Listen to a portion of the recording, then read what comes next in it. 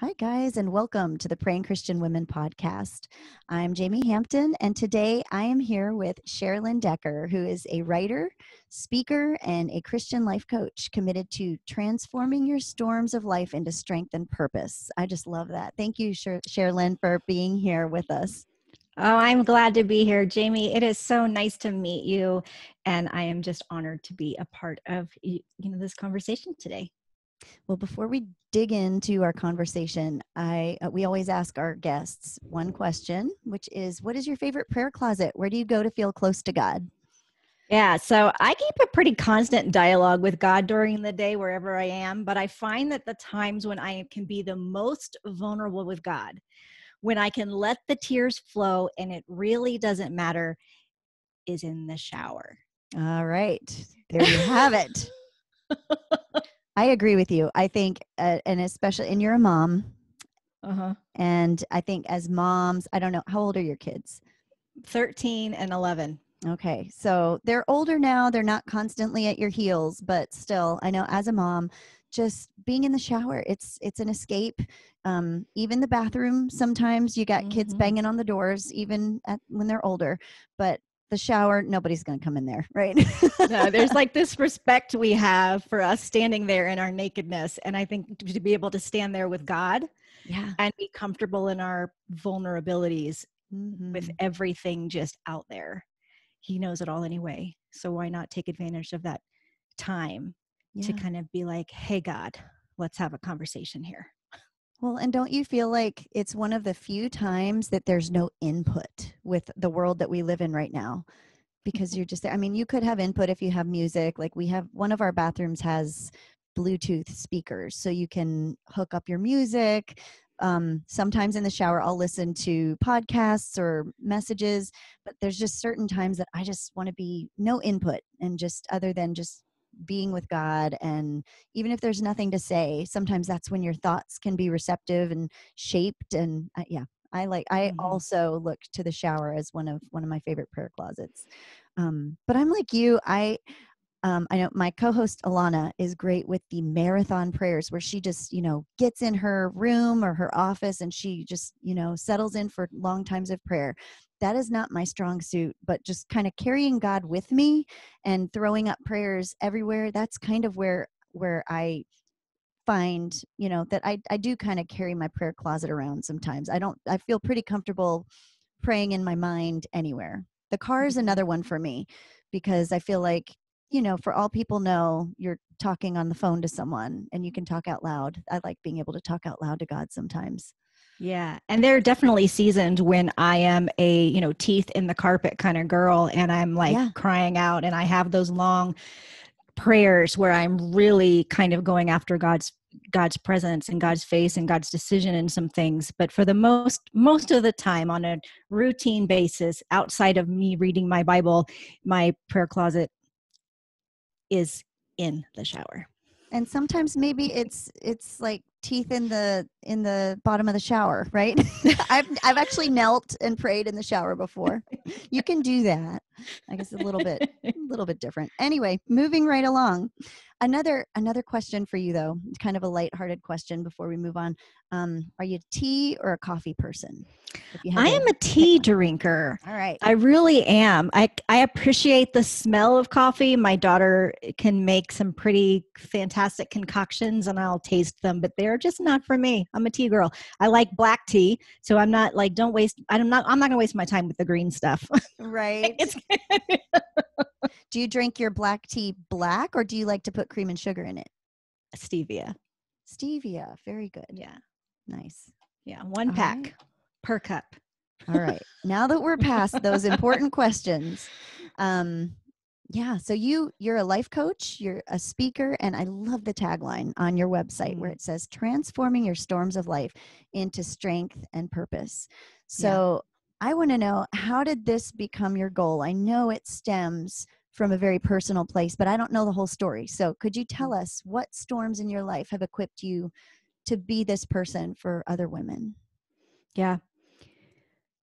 I would say it's more than just one storm. Mm-hmm. It's been a season of them. It's probably been about 12 years of storms. and going through them in a various shape or form from you know um, not getting the job that i wanted to being passed over for promotions. Those are sometimes some small ones. Um, i had a very rough pregnancy. Um, and then we had some devastations in my family when we lost my dad to cancer. Mm-hmm. and that was just it was just touched me in this raw place.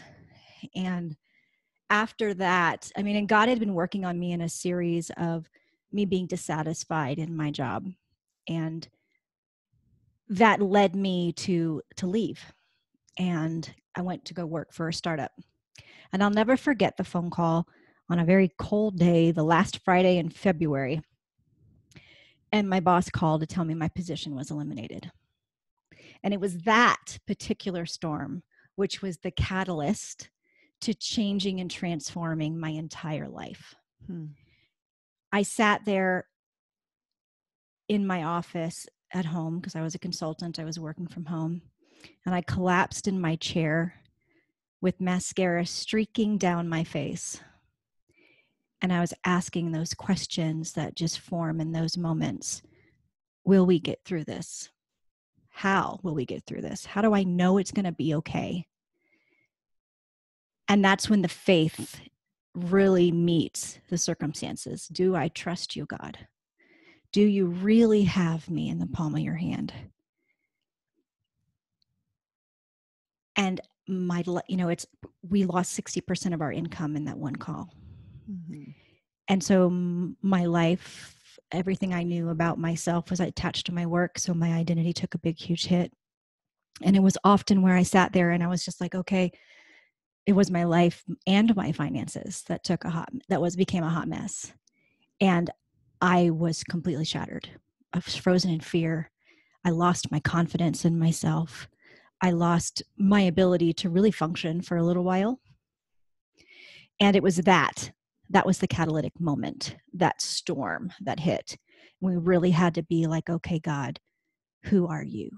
And he, you know, I know in my head, I taught, I, I was a financial coach at church. I knew all about the stuff. I knew all the verses about God being my provider. Mm-hmm. But until you have to see him show up in that way, you don't really know the I am your provider piece of his identity until you are calling on him for it. Oh yeah. Well, it's like we kind of keep that part of God in our pocket, like, yeah, mm. yeah, He's the provider, and as we walk mm. along, making our With own way. Yes. Um, yeah. Well, so what I want to know what your prayer life looked like during that time, because I'm imagining you're, you know, active in your church. You probably mm-hmm. have mm-hmm. normal prayer life going along, and then mm-hmm. what happened? How did that impact you in your spiritual yeah. life? You're right. I'm a Jesus girl. I've been in the church since I was in the womb. Um, I thought I knew how to pray. Mm-hmm. I thought I knew who God was. But it wasn't until I was in that moment that I had to connect with Him in a different way because the prayers that I was praying before did not work. And I had to really dive in and be like, okay, God, what are you? Tr- I need you to teach me how to pray. I need you to teach me how to get through this and he began to highlight scripture to me. I would read in my daily reading, and something would jump out to me, a promise from God, and I would latch onto that, and I would repeat it over and over and over. Mm-hmm. I would have sticky notes all of my house, what would remind me of that verse, because he said he was my provider. He said that he saw this coming. He says that he has me equipped for everything that he's called me to do. Yet here I am in this place where I've lost my job and I had to really lean on him for that. And I really had, and because you know what happens when something, when one storm comes, usually another one and another one and another one. And in that season of us losing 60% of our income, other things began to break. Mm. Doctor's appointments needed to be had with, you know, bills that we didn't expect new roof on the house like all kinds of big expensive items begin to happen when you're in this place of god do i trust you so sometimes it's not just one little storm it's a series of tornadoes, one after another. And we really have to kind of say, okay, God, I need to know how to pray. And so that for me is I really had to understand how he wanted me to respond. And in that is finding out what he says about me, because there was so much about me that was broken. Mm. There was so much about me that I didn't know. There was so much about him that I didn't know. And until I knew what he said about me, what he said about himself, and what he said about my circumstances, then my prayers didn't work. But when I knew those things, then I could hold on to them and latch on to them like, you know, like a dog that doesn't let go of a rope, right? When you're playing tug of war. Yeah. If if I could hold on to that that tight, then I knew that I could get through because his word was true and I got to test it for myself.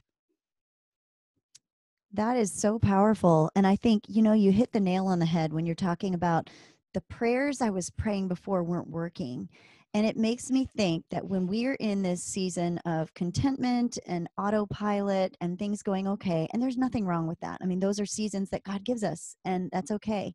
But I personally feel sometimes the need to, and I don't think it's a conscious thing, but what you said made me think of it to pray prayers that I know God will answer or has already answered. It's like I'm almost protecting God in my mm. mind. Like, you know, I'm almost afraid to ask the prayers that are beyond what would happen anyway. And that's dangerous because then you become God, you know, or mm fate becomes God or circumstance and um or even luck you know? And so and and that's dangerous. And i think it's these sacred times that are painful where we go to god and say like you just just like you said teach me how to pray that we really tap in to that relationship. And again not to say that we can't experience those kinds of breakthrough prayers and and relationship with God when we're going through good times too, if we're seeking Him. But I think the catalyst to seek Him, like there's no better catalyst to seek Him than crisis. Mm-hmm. And so that's a challenge for me because, you know, right now, there's some challenges but life is pretty much okay right now i mean i'm i'm in kind of like on on an up season and i just realized that there are times where i just i'm i'm just praying almost as kind of a cherry on top of what life is already like. And that's not what God wants in any season. He wants us to always be digging deep and always be making that white space of like, God, I need to hear you desperately. So yeah, that's good. I'm I, mm. I love that. Um so you get to this place and you're you're asking God to teach you how to pray.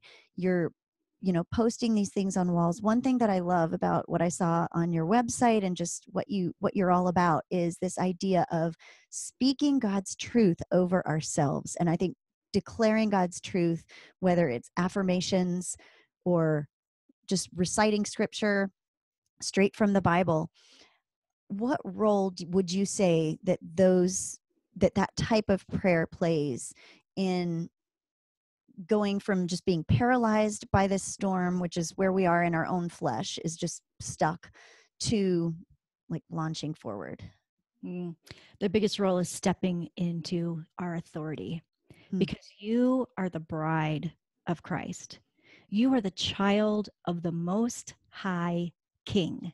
Just sit and let that wash over you for a minute. Oh, yeah. Who messes with the child of God? Who who can actually mess with the child of god if you're a princess if you're an heir to the kingdom no one messes with you hmm. the word says that god will crush satan under our feet yet we let him pester us and when we declare the scripture, we are praying the way Jesus taught us in Matthew 6:10. Your kingdom come, your will be done on earth as it is in heaven. So God's already in heaven. He's sitting there. He mm-hmm. has a will, a purpose, a plan for us. That's, by the way, more than we can ask, think, or imagine. And I can ask for some pretty big stuff. I can think pretty big and I can imagine some pretty big stuff. And He has more. And so when we're declaring scripture, we're praying, we're bringing God's thoughts about us and our circumstances into the earth. We're pulling it down. Mm. God, what do you feel about this? What do you think about this? What's your heart about this? And so in practice, that looks like Jesus in the boat with his disciples when the storm is raging, and that's happening in our life, and the storm is raging, and a virus is all over the world, and he's napping. and his scared, fearful disciples wake him up, and they're like, Jesus, get a bucket and help me bail this water out of the boat. And what does he do? He stands up and he declares hmm. for the out of his creative power of his word to speak life or death. And he tells the wind and the waves to knock it off. When my kids are arguing and I tell them to knock it off, we speak with that authority that's like, oh, mama ain't happy. Well, same thing when someone's trying to mess with a child of God, and we know that our King, that our Father that loves us so much, has the authority and He's given it to us, and He says, I put the enemy under your feet, hmm. we can take that authority and we can use it. And so I want to encourage you when we know what God's will is in a situation, what He says, what He promises, speaking that declaration is speaking on His authority because He's given it to us. That's so good. that's the role that it plays. Yeah, everything.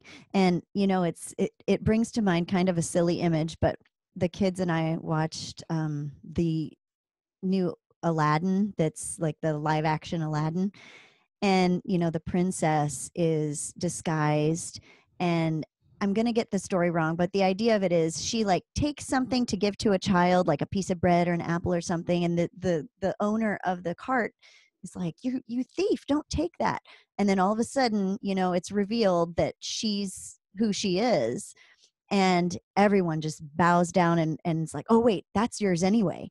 And i feel like that's who we are and but when we're choosing not to walk in that authority, because Satan would love for us to have amnesia and forget whose we are, and to walk as as as one of the common people, you know, and and to walk around being rebuked by satan you know and and being told what we can't take and what we can't have or what's not our birthright. And if we choose not to walk in it if we choose not to take that cloak off and reveal who we are then we're stuck then it's true. We we can't take those things. We will be hauled off to jail for stealing you know and i'm anyway let's mm-hmm. not take that analogy too far but right. but the bottom line is that's so true that when we're that that we can be deceived. We can forget even as christians even if you've gone to church your whole life and you've been committed to christ for many many many years there are still these times when that veil of deception keeps us from acknowledging who we are. And I think these scriptures, reminders, like we have to mm-hmm. cling to those. I think that is so powerful. Yeah. And let's take that a little bit further. Paul says, lay aside every hindrance. Hmm. If that hindrance is me, then I want to know what I need to take off so I can put on everything that God has given me. Yeah. Yeah, absolutely.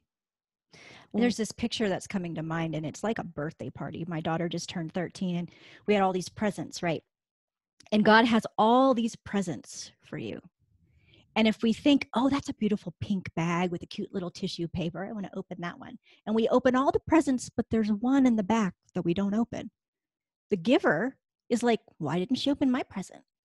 So here, God has something for you in a gift bag with beautiful tissue paper and nice bow. It's got glitter on it and you know all kinds of beautiful stuff on the outside. And what's inside is this treasure that he's just desiring you to open. Yet you leave it there. That doesn't I mean in a birthday party we'd be like you forgot one. Well, I want to tell you, you forgot one. Mm. There's a promise in the Bible that you're not declaring. Let's figure out what that is so you can stand in the fullness of everything God paid for. Amen. Yeah. And to think of it that way, you know, if God's the giver, just imagine how much it grieves him for that present to be sitting there, you know, mm. unopened. Mm. Yeah. Why do you think, as women, do you, well, first of all, do you think it's hard for us as women to claim some of those promises? And why do you think that is? What, I do. What might be, what might stand I do think way? it's hard for us. I have one client who felt this way and when we were coaching and talking through the root of some of this, what was at the inside is that she didn't think she was valuable enough. she didn't feel like she was valuable enough for those truths for those truths those promises. Yet if she was the only one on earth jesus would have still died for her. I want you to receive all jesus died for all of his promises.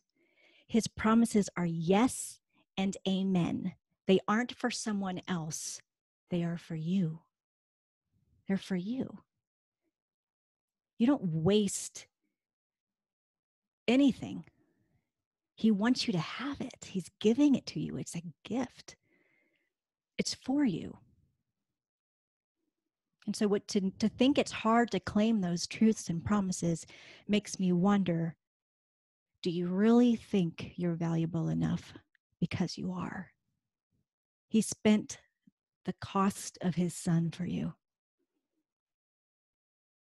Yeah, that truth I think is the foundation of all the all the others.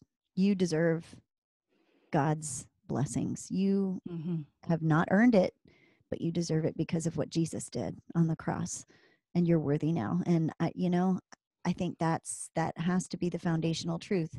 And so if anyone is out there not feeling valuable, go back to the gospel. You know, have someone explain exactly what that means. The fact that we are sinners, every last one of us. And while we were still sinners, Jesus died to take that penalty of sin on himself. And that it's not something that can be earned. It's not something that you can strive for and get like the approval from people that we have been conditioned to receive or you know as a as a people pleaser i know you on on your website you talk about you're recovering people pleaser and i i am and it's so difficult for those of us that are people pleasers by nature to accept that without anything changing that at our very worst that we are worthy and mm-hmm. that it's not selfish that's the other thing i think we struggle with that i struggle with is declaring good things over myself isn't selfish. It's not a waste of time. It's not a waste of my energy because i'm thinking well i should be praying for someone else or well i i need to do this or do that and and you you begin to neglect your spiritual self-care. And i think that's also a big hindrance um, from living a fulfilled life and a life that's connected to god that's the key a filled life you can't pour from an empty cup mm-hmm. we can't pray for others when we won't let God touch us first. Yeah. On the other side of that coin is this idea of of false confidence. So can you talk about that a little bit? What would what does that look like? Because I know that you've lived that side of it before you got to this breakthrough moment. So can you talk about that? What did that look like in your life and what was the turning point for you? when I was in corporate America, I was very successful. I was really good at what I did. That was in my own strength, using the gifts that God had just naturally given me, right? Mm-hmm. My and there's nothing wrong with that, being good at the things that he's given you as your strengths. Yet even in that something I was really good at, there was a confidence in me that wasn't real. Mm-hmm. And I say that because it was on a weak foundation, places that were in my heart where God wanted to do work, but my ego got in the way. And now I learned how to tap into God's strength through that because He called me out of a place that I wasn't good at. So I could see and I could lean on Him in the places of my weakness. Yeah. And uh, what does that look like in in mm-hmm. practice? What are the steps that you take to get to that place? Yeah. So I can't help women turn trials into triumph without God. He uses me to do the work, but I can't do it in and of myself. I can't bring women into my programs, into my courses. God does that. I can't sell anything. I can do all the stuff that all the business people, all the gurus tell me to do. Yet God will put a ceiling mm-hmm. on my efforts until I am ready to do it in His strength. He uses the trials of my life, even the financial business ones, all of the trials in our life, He uses those as a place to form our character. So, in that process, He shows us, He showed me where I was not strong in Him so that I could let go of my own strength and hold on to His. So, some practical steps of what that looks like for me is when I'm working with clients, we'll, I'll often give the analogy of potholes. When we're first learning how to drive, our driver's education teacher, whether it's our parents or it's a classroom environment, will talk to us about potholes because we don't want to hit them. It'll damage the car, flatten the tires. So, we learn not to hit them. But how often have we done so? So when we when I help clients find those places, find those obstacles that are in their life that they've hit before, then we can recognize those lessons so that we don't repeat them. It's so we don't get in the same cycle. So sometimes that looks like um, people who push our buttons there's this great scene in the movie Elf. It's by my far by fa- one of my favorite scenes in the entire movie. And he's standing in the elevator and he's so excited to go see his dad and meet his dad that he pushes every button in the elevator. Yeah. he lights up the whole panel, right? Can you see it in your mind? Yes. And he's standing there and there's this guy who's like, I now have to go to every single floor in the elevator. And he stands there, but he doesn't say a word. Somewhere along the line, that guy's buttons weren't, you know, don't work anymore. So it doesn't matter what life had thrown at him. Elf could push all the buttons and do it intentionally on purpose.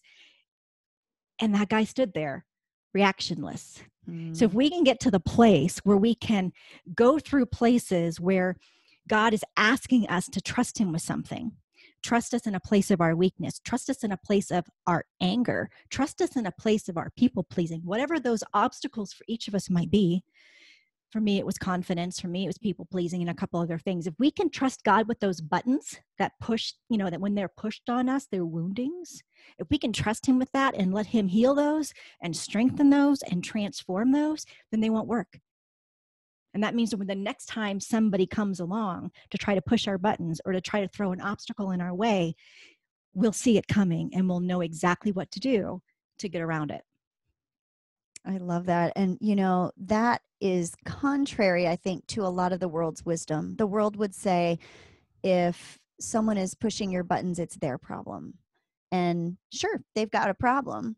But what God says is, I can, you know, that, that I can give you what you need to love your enemies. I can give you what you need to live peaceably. Um, not that there isn't a time for boundaries. I absolutely mm-hmm. believe that there's a time where we need to set healthy boundaries with toxic people. But yep.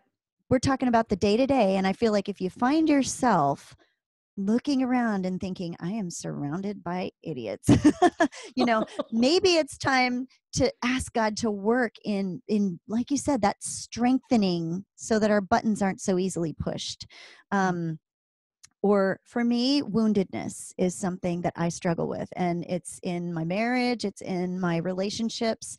I love to play the victim i love to be the martyr i hate it but i but i love it at the same time and so god is working on me and in me to I, i've never seen it this way but i'll never watch elf without and we watch it every year without thinking about that and and just smiling at okay yeah god is going to help me strengthen my buttons so that they can push away and it's not going to wound me you know it's going to be mm-hmm. healing. And that is that's really powerful because when we shift that focus we can have victory. We don't have to be a victim. We don't have to be paralyzed in situations and feel helpless. We we begin to be powerful people that can just walk confidently through life confident in who we are and and and have this audience of one that is because ultimately i think it comes from wanting approval and to please people but we we have this audience of one and as long as he's pleased as long as i'm following his directions then then i don't need to worry about the other things that come at me and mm-hmm. yeah that's that's and good. we can learn to use those things that come at us as an opportunity for god to teach us something Mm. And that comes through in the most practical ways. When when this whole coronavirus first thing happened, you know, I live in Colorado. We only just now have a mask mandate. And so when I was walking through Costco, because I had to wear one at Costco, and in the very beginning, and it just was driving me nuts. It kept falling off my face. It kept, you know, I was just visibly irritated by the whole thing. And I just couldn't figure out why I couldn't keep it on my nose. It was like a band-aid, cute little band-aid I had around my face. And I was like, God, what is the deal? And he was just like, I'm glad you asked. oh. and I'm like, oh no. and he's like, Do you he goes, are you paying attention? And so he used that opportunity to get me to be aware of what's happening and I could see fear on people. Oh. And so then at that moment, I was like, okay, I see fear. My visible frustration with this mask isn't helping anything. And what do you want me to do? And he's like i want you to you know to walk through costco and i want you to release these people from fear. Now he didn't have me touch anybody or pray for anybody or lay hands on anybody. He just had me walk through and release peace and release you know god's presence in that place. Just by walking up and down the aisles every time i saw somebody with a mask on who i sensed any fear in. So when we know when we can use these opportunities as as a place like hey this is not my normal. This is not my normal. If this is not my normal and i'm irritated by something i can bring that irritation to the lord and say take the speck out of my eye. Wow. what's here what is here that doesn't belong here yes you know this whole thing is wrong and i shouldn't have to do this blah blah blah blah blah i can get it all into my you know soapbox and high horse about the whole thing but at the end of the day it's god how can you refine me in this and give him an opportunity to, to use the smallest little things as lessons. And then we walk through life equipped and empowered. And I'll tell you what, when you do that, then at the end of the end of the shopping trip at Costco, people look at you and be like, "This thing doesn't bother you, does it?" I'm like, "No, it doesn't. It doesn't." Wow, that is so powerful. Just that idea of using the irritations even the small ones or the big ones but but that you know what is it i think it was was it cs lewis that said pain is god's megaphone somebody said that and you guys can google that and figure it out but um but any irritation could be god prompting you to come to him and i love that example that you gave i had a costco experience early on in in the covid crisis that didn't turn out as great in my heart until later. I did not listen in Costco to God, but um, I was walking through and shopping for the family, and we had not been out. We had some pretty early restrictions put in place, and uh, there was an elderly couple walking through Costco, and neither of them had masks on, and, and the woman was hacking and coughing. I mean, just all over the place. And immediately, kind of fear rose up in me, and I'm thinking, she's contaminating this whole place. Why is she not wearing a mask? What is wrong with them? Why didn't he leave her at home? And I mean, I, my mama bear instinct of, you know, I'm shopping for my kids. I don't want to bring a virus home. And it wasn't until I got home and reflected on why I was so irritated because it that feeling that rose up in me, I carried it. It was the chip on my shoulder. I carried it out of there. No one was blessed by me, I'm sure. And um but I got home and I started thinking about it and God started working on me then and and basically like you said it was that prompting of you're not even seeing this person as a human you're seeing her as an irritation look at her as a human look deeper look at the man that was with her and all of these possibilities started flooding my mind. Maybe he couldn't leave her at home maybe she was confused maybe she couldn't wear a mask because she would mess with it too much or who knows? But at the very least pray for this woman's cough you know? I mean pray that she would be healed and so it's amazing what happens when we stop and just allow god to check our spirits.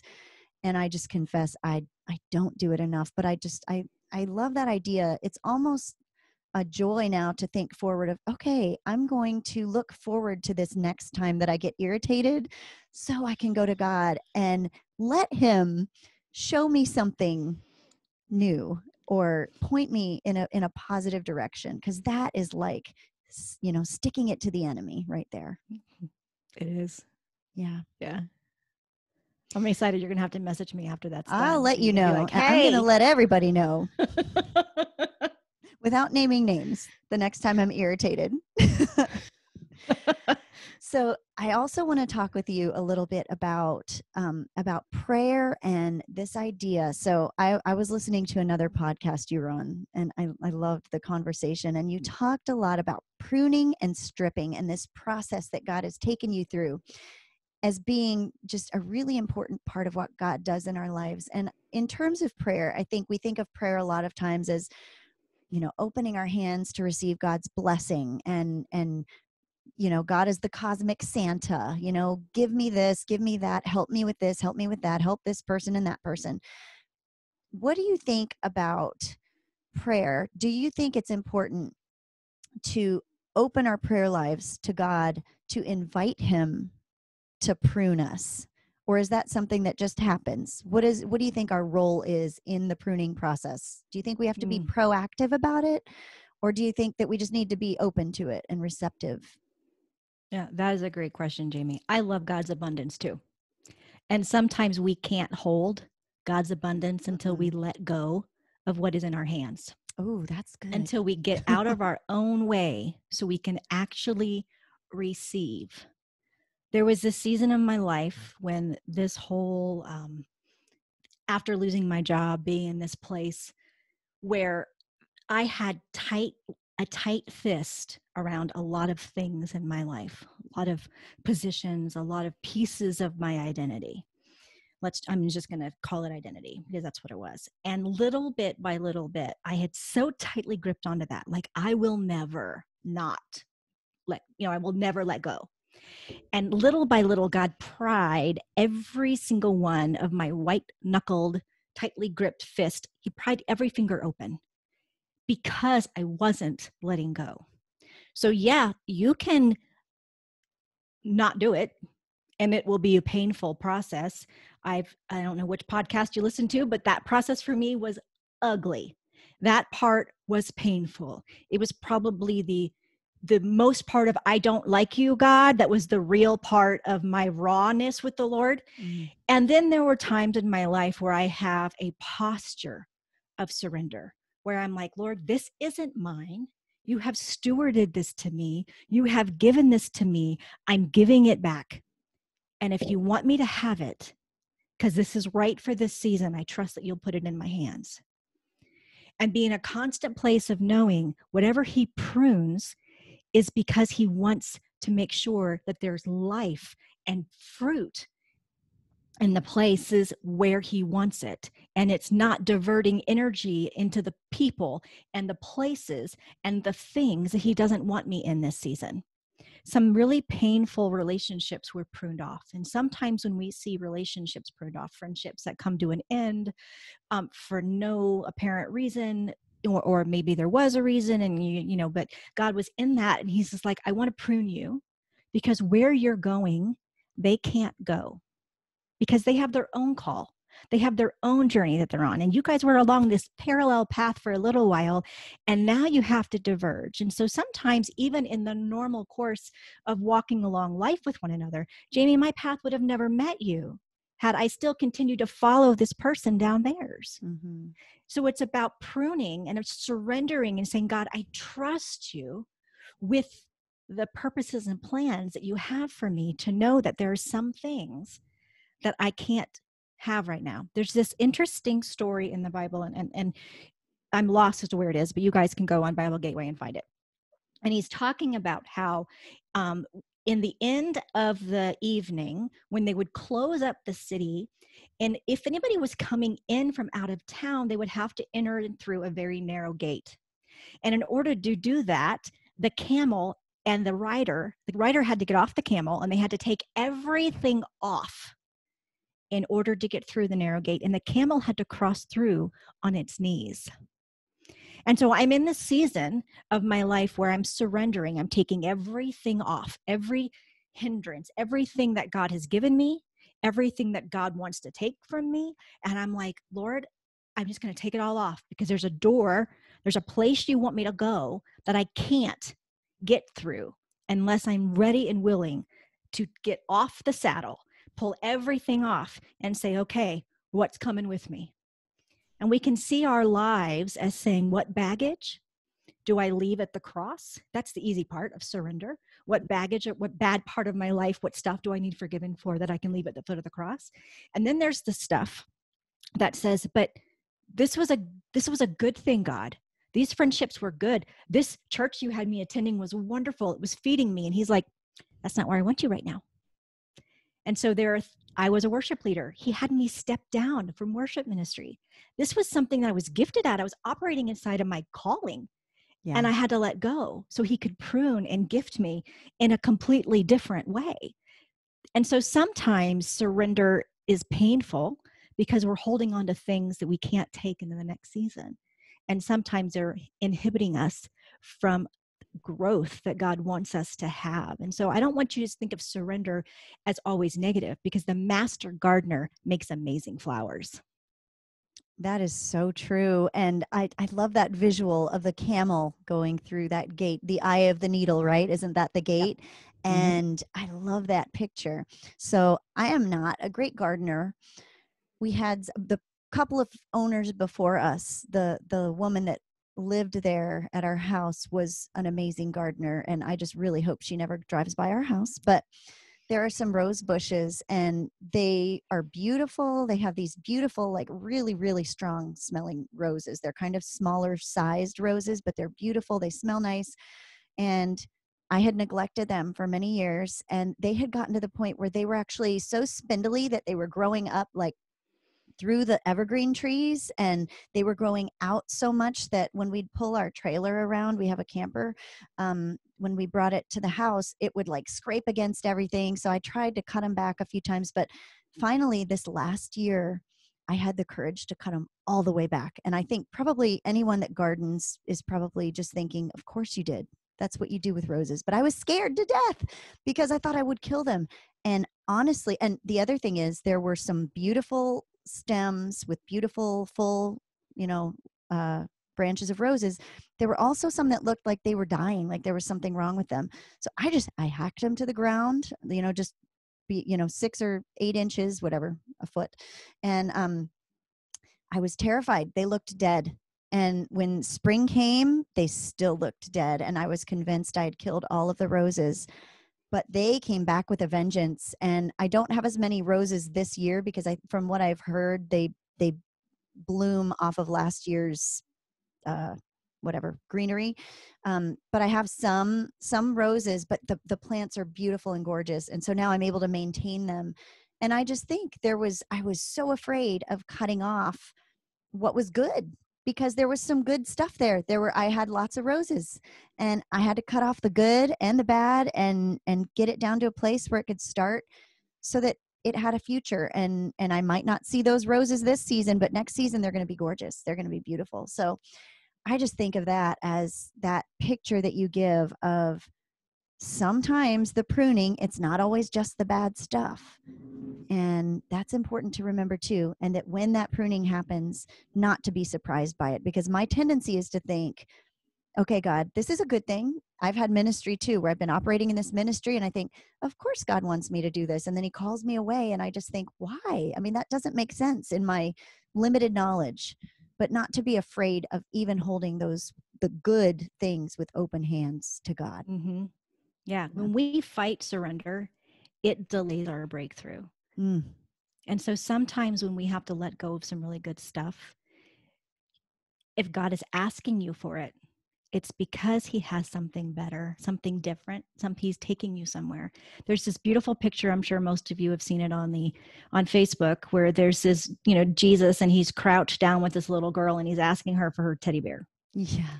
Have you seen it? Uh, yeah, and then and she's like, "But Jesus, I don't want to give it to you." And but behind his back is this enormous teddy bear, yeah. but she doesn't know because she has to let go of something she loves so much. Mm-hmm. And so sometimes, you know, God prunes off the dead stuff that you know isn't producing fruit anymore, and sometimes He's pruning the stuff that has beautiful roses on it, and you don't understand, but you have to trust that you you know that he, the vine dresser. Yeah, because he knows he's not just the gardener he's the master gardener and yeah. you know he knows way more than we do he thankfully. does well i think right now probably more than any other time i can think of i can pretty much guarantee that everyone listening is going through some kind of struggle or storm right now maybe more so than than other times in their lives. So what is one piece of advice that you would leave someone with who feels stuck and paralyzed by what they're going through and just unable to get out of that rut? What's step mm. 1? Step one is to find a promise from God on what's going on in your life right now and begin speaking it out loud. And if you don't know where to start, I have five powerful prayer declarations that will speak the word of God over those situations in your life. The top five areas are finances, family, work, health, and future. I think I, I listed all five, but I, you know, I'm glad to give those to you if you don't know where to start. If you don't know where to start in the Word of God, to find a promise for what's going on, to hold on to, then I'll give you that. Because when we know what God says about our circumstances and we declare those things out loud, mm-hmm. it brings God's authority over our circumstances, and our circumstances begin to change. Where can they find those? How can they get a hold of those? Thank you so much for making those available too. Oh, you are welcome. Glad to do that. So um, you can get those on my website, and I will make sure there's a special page for for you, Jamie. So it Great. will be my website, CherlynDecker.com forward slash praying women will be the page for you guys to go to to get um, those five declarations, and there'll be a couple other um, ways to access me on there as well. My links to my Facebook page and my Instagram and, and those types of connections will all be in that one spot on that website, um, my website, CherlynDecker.com forward slash praying women. All right. That is perfect. Thank you. You're welcome. Well, how can our listeners find you? Well, we know where to find you online. What about social media? What, what yeah. are your social media places that you hang out? So my Facebook page is Coach Cherlyn. Um, that's where I produce a Wednesday word drop. And so every Wednesday, I take a scripture from the Lord that He has given me for that week or that month. This month, we're talking about peace. And I flip it into a declaration. I find a promise from God and I stand on that. And so every Wednesday, I do a word drop. Um, and that's 10 o'clock Mountain Time, noon Eastern. Um, that's done live. That's completely free content. And so that's my Facebook page. And I am on Instagram and Twitter and LinkedIn. And those um, handles are my name, Cherlyn Decker. Okay. And that's C H E R L Y N. Yes. Decker. All right. Yes. Perfect.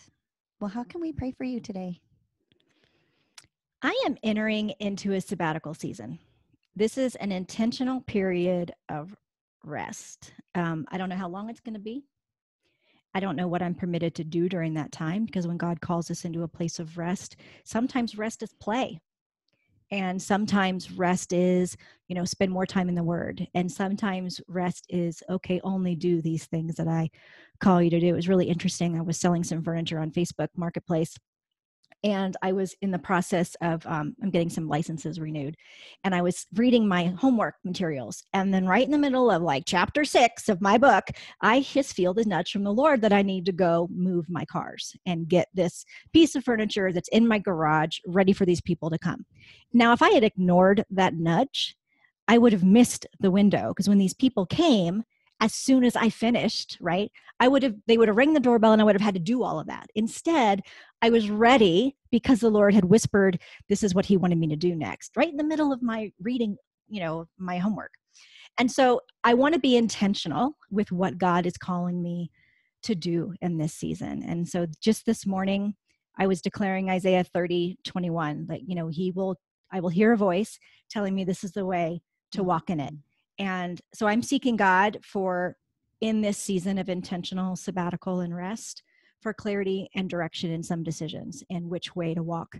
So that you can join me in declaring that over me um, and praying that over me that in because I stand on his promises. He says he will guide mm-hmm. me. He mm-hmm. says he will direct me. He says he'll be the voice behind me. He will. And sometimes that requires an intentional listening. And Absolutely. sometimes it's not immediately. God is not, you know, a genie in a bottle. He's not going to pop out every single time that, you know, we think he will. Sometimes he shows up in a whisper and sometimes he's as loud as the thunder that just went off outside my window. So sorry if you heard that.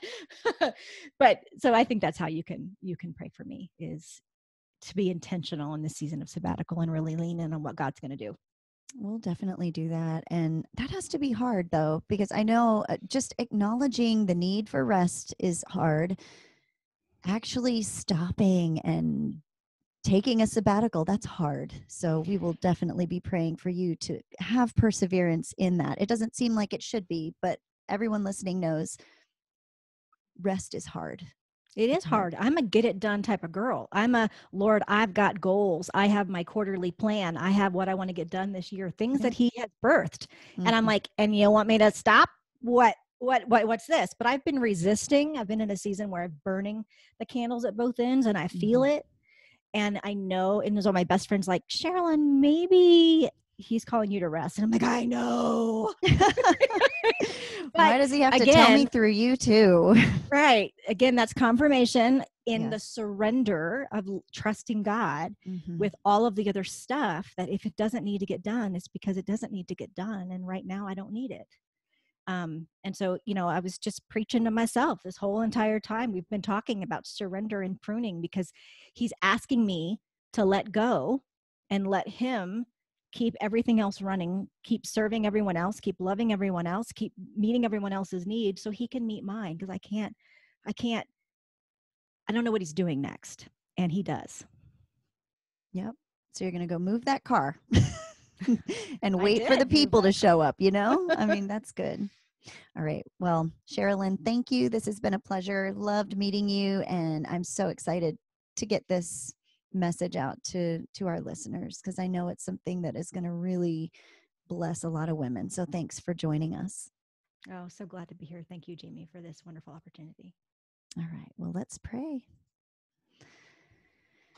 Father, we just come before you grateful that you know more than we do, that you are sovereign, that you see, you don't even see the future. You are you're in the future already. You've gone before us. You've you're paving the path. You're making the way for us. And we thank you for that, God. And we claim that for Cherlyn as she steps out in faith to take this sabbatical, just totally stepping out into the unknown to her, but trusting that it's not unknown, that it's not a surprise to you. And just like she took that step of faith and moved that car, God, I just I pray that you would meet her in her obedience in a powerful way. I pray that at the moments when she is questioning whether she heard right or she's questioning whether she should continue to rest or just go back to, to business as usual or tempted to make exceptions, that you would meet her with just um, confirmation of your calling for this time of rest, that you would give her a glimpse of what you're doing, just a glimpse so that she can just keep walking forward in obedience and faith. God, we do declare over her that you have plans for her, that your voice can be heard above all of the noise and will be, that she will recognize the voice of the shepherd, that all of the other voices swirling around, all the chaos, will totally be shut down because you are powerful, because you speak to your sheep and they will hear your voice and they will know you. We declare that over her, God, in Jesus' name, that she will hear you, that she will hear next steps, that she will know when it's time to rest. She will know when that restriction is lifted and when it's time to work and to move forward and time to go about business. In the meantime, we pray for contentment and peace. We pray against a spirit of restlessness or anything that would keep her from um, being still and hearing your whisper, hearing your voice. We just lift up her ministry, her business, her family, and we do pray your blessing on her, God. We pray for open doors. We pray that your word would go out through her in, in ways that will not return empty. That you would just equip her during this time of waiting and resting in ways she never expected or imagined. And we just look forward to that time when when some of the fruit of this time of pruning and stripping is going to come. And we just trust that that is going to come in ways that that will just totally blow her mind. Lord we just thank you for this time. We pray for anyone out there right now who is struggling who feels paralyzed and stuck that you would allow your word to infuse them with life with strength to to just walk just that one step to get out of that that muck and mire that they would be able to stand on the solid rock of your word and find victory and abundance and fulfilled life. In Jesus' name, amen.